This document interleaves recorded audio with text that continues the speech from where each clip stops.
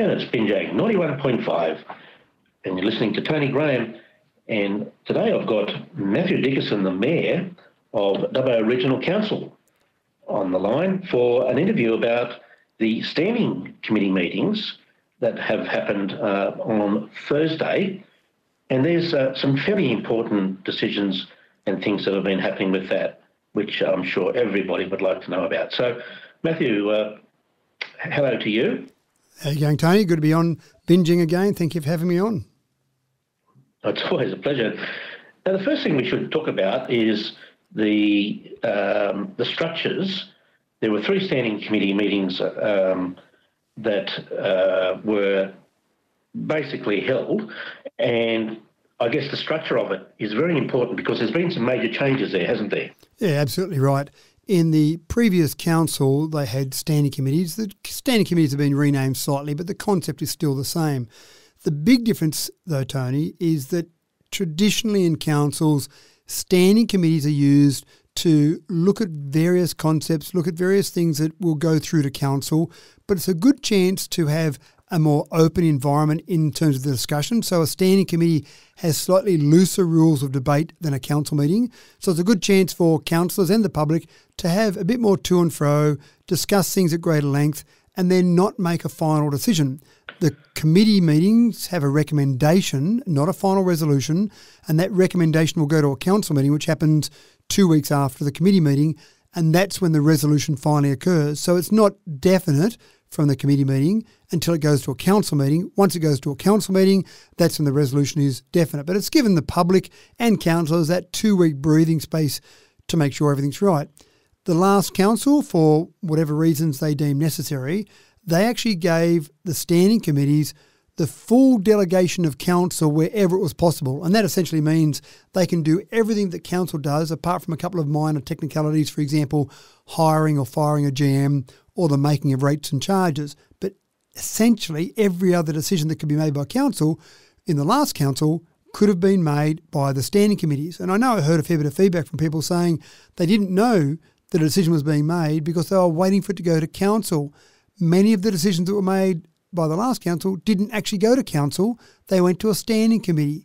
And we thought, this new council thought, that had the potential to confuse the public and also didn't give the council resolutions the same gravatus as if it went to a council meeting. So we've removed that delegation now from all the standing committees. The only thing that a standing committee can do is basically make those recommendations to a council meeting. The only one delegation that was still kept was the ability to award tenders. And the reason we kept that is because building services and building construction costs seem to be going up very quickly. So having that extra twice a meeting uh, or twice a month opportunity to award tenders just gave the staff a bit more flexibility in that.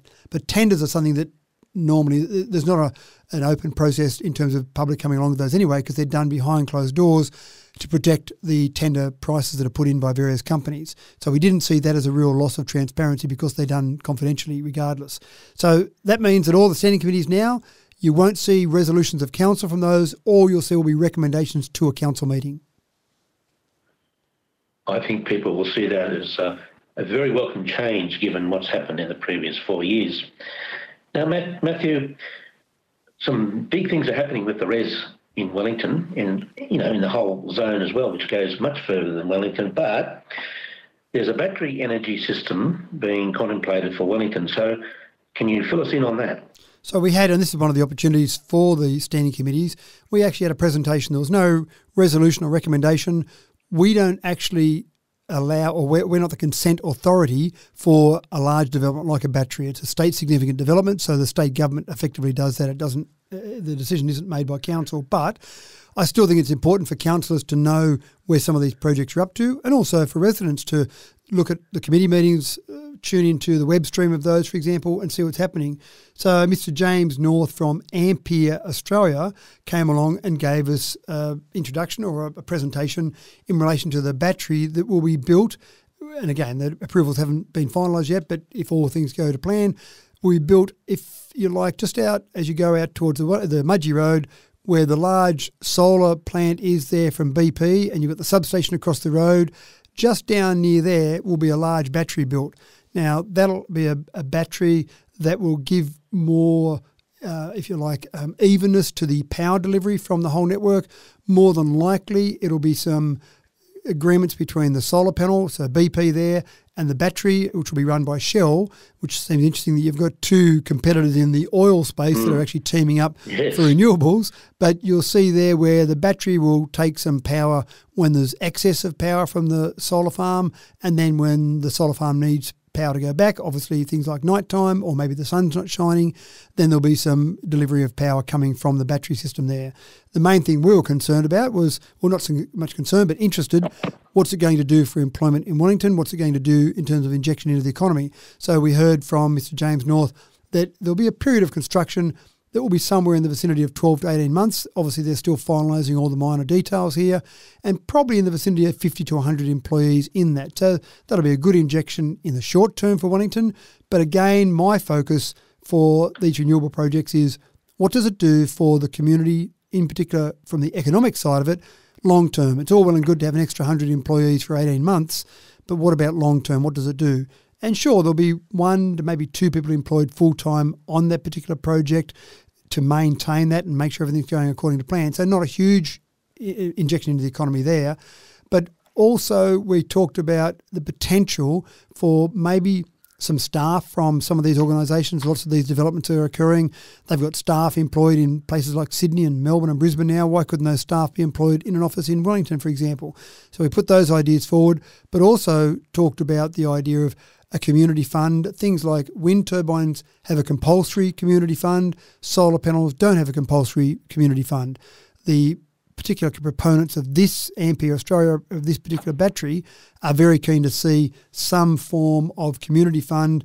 And I can't tell you the exact amount of that, that's up to negotiation still, but some form of community fund as well. So hopefully, what we'll see out of this, Tony, short term, good injection for employees.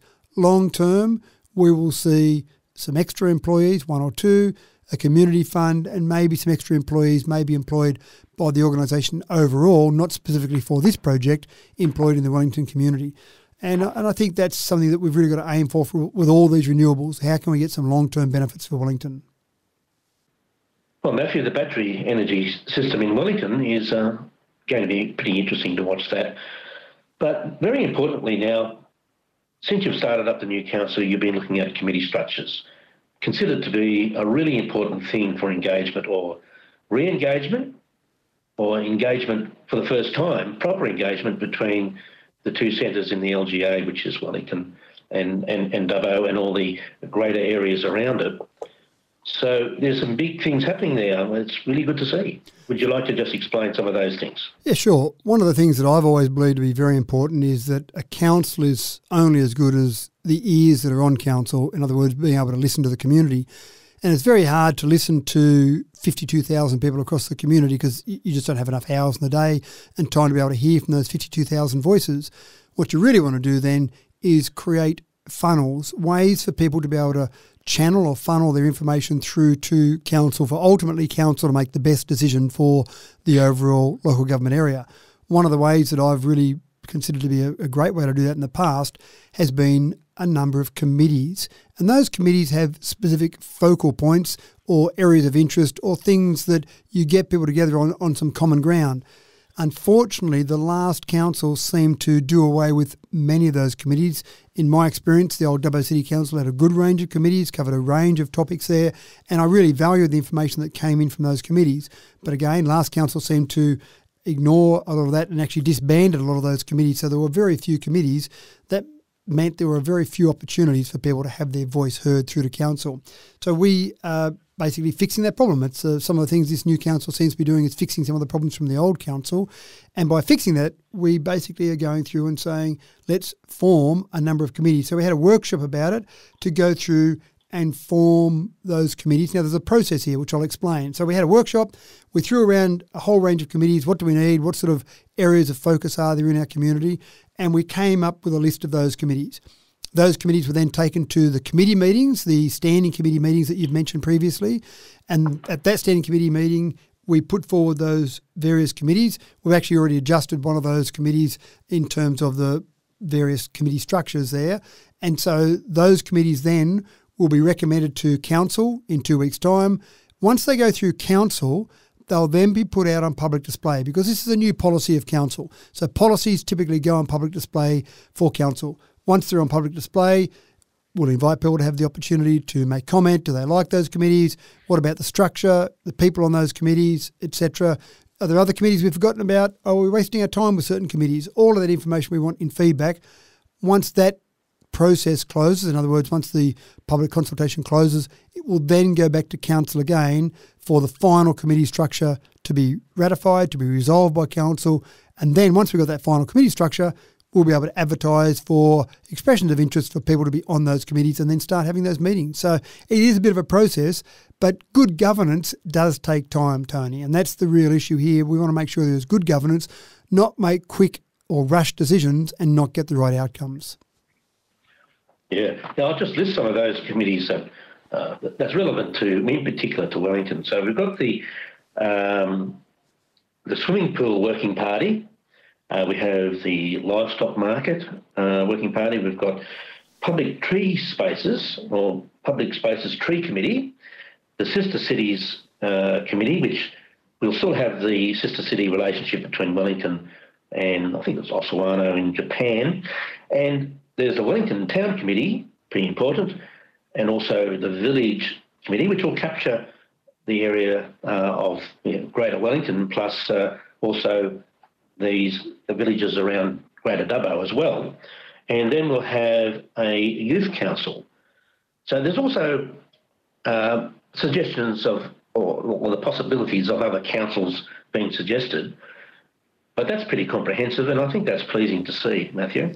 Yeah, there were a total of 16 committees that were put forward to the committee meeting, the standing committee meeting, and you've just picked out a few of those ones there. And those are the ones probably more relevant to Wellington, for example. Yeah. So I, I, think that's important. So if we go through a few of those in a little bit more detail, so you're talking about the swimming pools. There's three swimming pools in the LGA now. There's the Geurie swimming pool, Wellington, and Dubbo, obviously.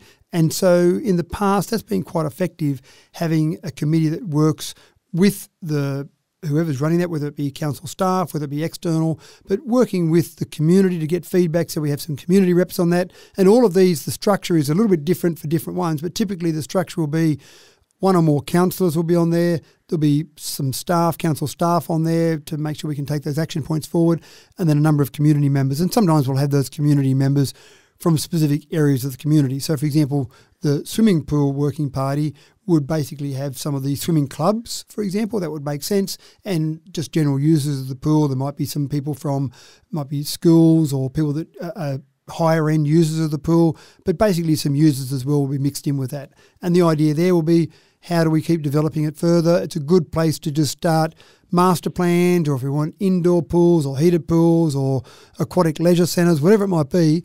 The idea would be to feed it through those committees first, make sure we get these ideas, round them out a little bit, and then bring them through to council as a first stage and then continue on from there.